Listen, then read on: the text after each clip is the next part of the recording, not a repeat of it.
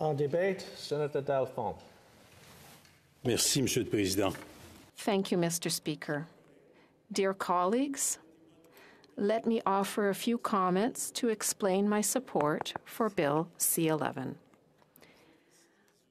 I would like to make it clear that I do not intend to comment on each and every provision of the law, nor on the proposed amendments.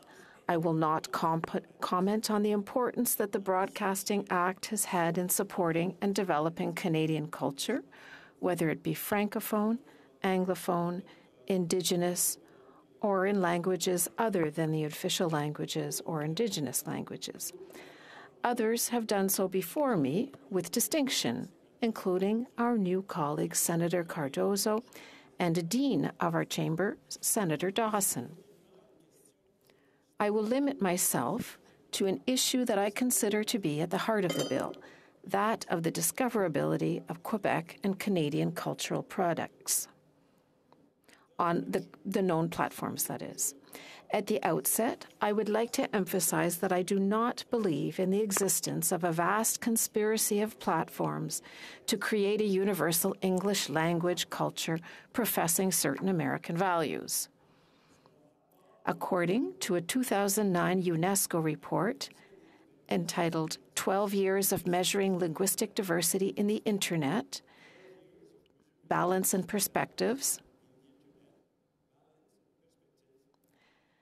the share of English on the Internet has dropped from 75% in 1995, rather 1998, to 45% in 2005. Moreover, according to the Observatory of Linguistic and Cultural Diversity on the Internet, an observatory that is part of the International Organization of the Francophonie, in 2021, the share of English as a global percentage of web pages was apparently only 26.5%. This shows that the content of the web is becoming more and more diversified.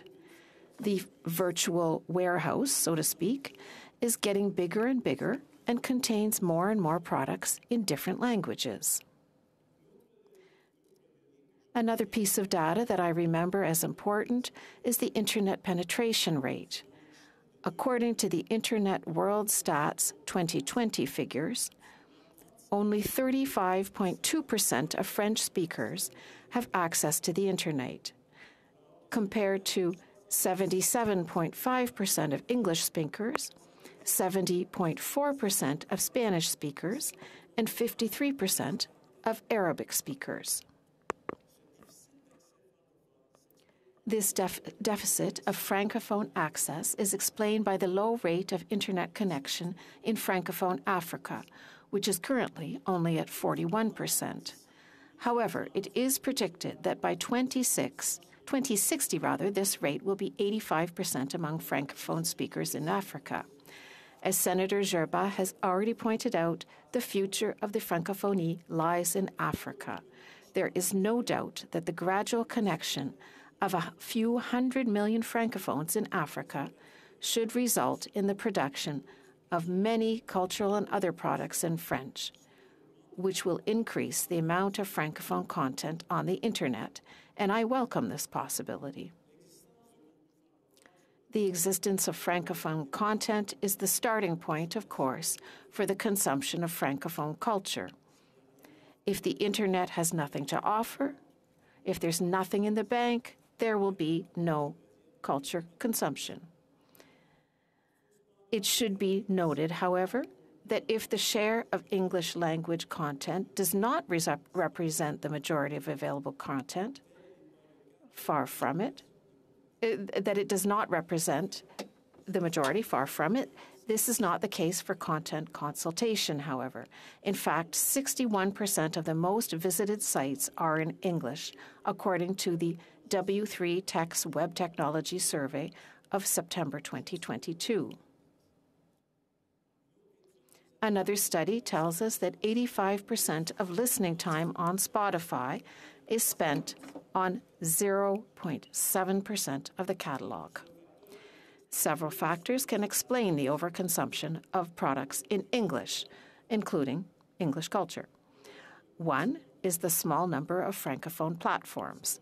This is why, in September 2020, in order to promote French language products, the member countries of the Francophonie, including Canada, launched the TV5 Monde Plus platform, a free platform, which is a sort of French language Netflix. In September 20, this was in September 2020, and this platform makes it possible to increase the online presence of French programs and films to enhance the influence of creative content from the international francophonie and to reinforce discoverability of French language content on the internet. TV5 Monde Plus's French language productions are currently available in 196 countries. Another factor seems to explain the low consultation of products, especially French language cultural products, what we call platform suggestions. A study shows that on YouTube, 70 to 80% of the time spent on the site by Internet users is due to a product recommendation. That is, you view a product and you're recommended other products and you stay longer. As you know, these recommendations are made through the use of algorithms.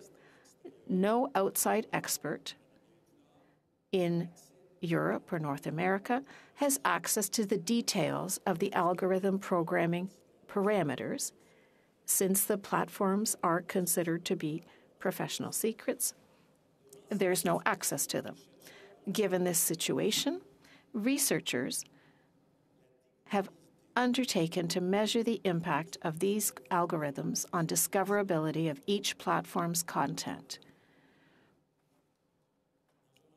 In a March 2021 report published by the Laboratoire de recherche sur la découvrabilité from Université du Québec in Montréal, called être pas être découvrable, translated to be or not to be discoverable, the following definition of discoverability is proposed, and I quote The system of discoverability is a set of processes that structure and determine the possibility and capacity of the public to discover cultural products online. In other words, to find them or to have them presented to them without necessarily looking for them among a vast array of content organized by prescription and recommendation systems. End quote. This definition emphasizes the complex and multiple processes and dynamics that occur between an online consumer and a platform, and how these processes impact an audi- audience's propensity to discover products. This complex and dynamic process is somewhat similar to and greatly simplifies the product offering in your supermarket. Often, the product that sells the most is the most prominently displayed. The strategic positioning of this product means that there may be four or five competitors' products placed nearby the star product, but on the top or bottom shelves where most consumers will not necessarily see them. Of course, it can be said that the consumer is free to choose the product that is most prominently displayed at the appropriate height. But everyone knows that this positioning is a result of a supermarket decision, either because this product generates a higher profit margin or because the supplier has paid for an advantageous placement of the product. But if the legislature chooses to intervene to require fair placement of all products, it cannot seriously be argued that consumer choice is then diminished. Rather, it could instead be argued that it is increased. In the case of products in a distribution warehouse, the shelves are replaced by algorithms. Without these algorithms, a distribution center would become a sort of huge library without a filing system these algorithms, which are increasingly sophisticated thanks to artificial intelligence, are able to recognize consumers, remember what they have consulted for months or even years, how much they're willing to pay, and so on. Wanting to anticipate the consumer's new needs, the algorithms present them with content.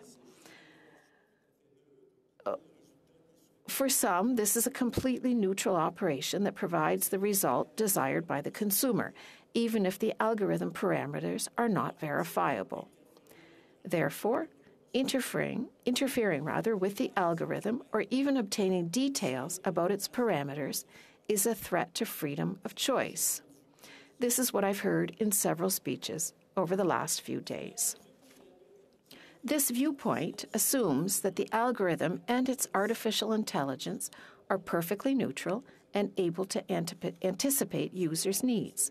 It assumes that there is no possible cultural bias in the complex programming that underlies these algorithms. And of course, it also assumes that there is no programming to increase clicks and viewing time and related revenue. Unfortunately, investigations and revelations that have occurred from time to time, mainly from the US, have undermined these premises.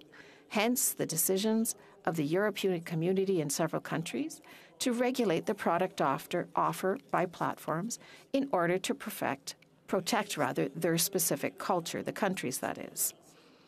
The need to do the same in Canada for French language cultural products was demonstrated in the public scientific report of March 8, 2021, which I just spoke of, by the aforementioned research lab- laboratory on discoverability. It concludes that there are barriers to discoverability and highlights the following findings. One, there is no Quebec rating on Netflix, iTunes, YouTube, etc. Two, there is very low presence of Quebec audiovisual content, which explains in turn why algorithms cannot promote their visibility. For example, none of the 29 Quebec films produced in 2016 was found on Netflix. As for the 29 new releases at the time of the search, 10 were found on iTunes and 19 on the paid platform of YouTube. Three, there's a relative lack of streaming of Quebec films and series on transnational programs. Four, new platforms such as Disney Plus, Amazon Prime, and Apple TV integrate little or no Quebec audiovisual content. Five, if most lists of new music from Quebec are not present on the platforms, they are not uh, are present on the platforms, rather, they are not very visible, not often recommended, and the situation worsens when the music is not a new release, even if it's a past hit. Six, when it comes to music streaming, tests conducted from March to August 2019 revealed that none of the premium streaming services met the very specific expectations of the reference audit auditor used in the tests. Seven, the platforms do not provide details of content consumed in Quebec or the consumption of Quebec content. In conclusion, both the platform contents and the reference algorithms have resulted in poor, poor results for Quebec culture. In this context, it is only legitimate to want to regulate Quebec rather and Canadian content on these platforms, as well as the, the discoverability of Quebec and Canadian cultural products that are stored on them. And what I'm saying for French language products applies also to Indigenous language products and English language products. This is why I support C11, which will force the requirement of Canadian content and require that the algorithms allow them to be discoverable. Thank you for your attention.